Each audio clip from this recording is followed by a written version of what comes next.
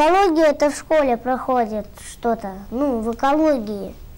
Английское занятие. Моя сестра учит это. Экологию. Да. Ну, это в школе проходит в каком-то четвертом. А Не, нет. в четвертом этот. Анато, анатомия восьмом. Они могут всю природу испортить. Ну вот как они ее испортят? Могут грязь положить.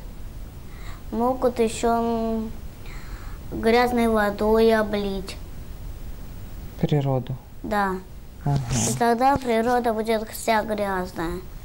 А так не поступать нельзя. Природа тогда э, погибнет. Можно пойти в лес, пошел, поел и ничего не убрал за собой и ушел прям. Да, это, это плохо.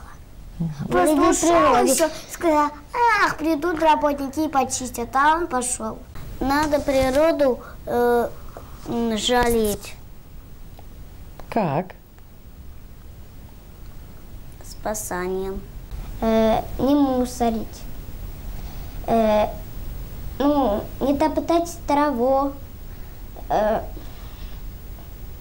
э, деревьям не ломать ветки.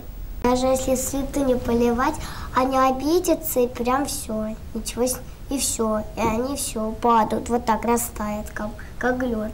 Еще надо беречь воду и беречь свет. Можно животных покормить еще, если хочешь.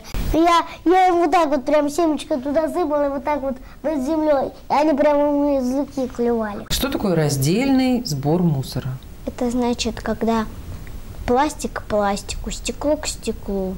Раздельно это значит разделиться на две команды. В некоторых жру а, от фруктов, другую газету, бумагу. Все должны выкидывать мусор в положенные места, убираться везде. У, нас дома, у нас в коридоре написано «Убирайте коридоры». Написано, чтобы, чтобы у нас не было ничего грязного.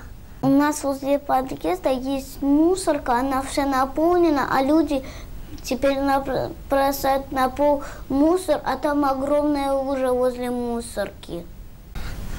Вон там у нас мусорка, а здесь дорога. И, и там бутылки. Кто-то там выбросил, когда мы там, наверное, спали. Просто подойду и скажу, чтобы он в урну выбросил. Если бы не, не было природы, то тогда б нас бы тоже не было, потому что природа нам дает кислород, а мы только им дышим.